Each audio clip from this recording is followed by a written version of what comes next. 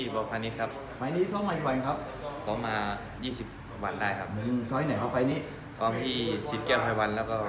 โทนี่ลูกมหานาคครับอืมแล้วมีใครเป็นผู้บังคับซ้อมบ้างครับที่นั่นคู่ปั้มเป็น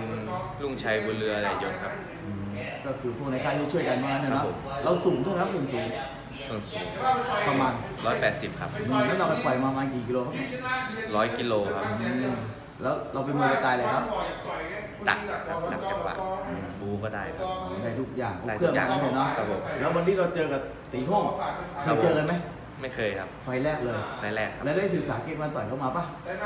ดูคลิปเก่าพี่เขามาบ้างครับ อืมเขาเป็นมวยสไตล์อะไรพอจำได้ไหมก็ดักจังหวะฝีมือเหมือนกันครับ อืมแล้วอย่างวันนี้เราวางเกมวางแผนยังไงดี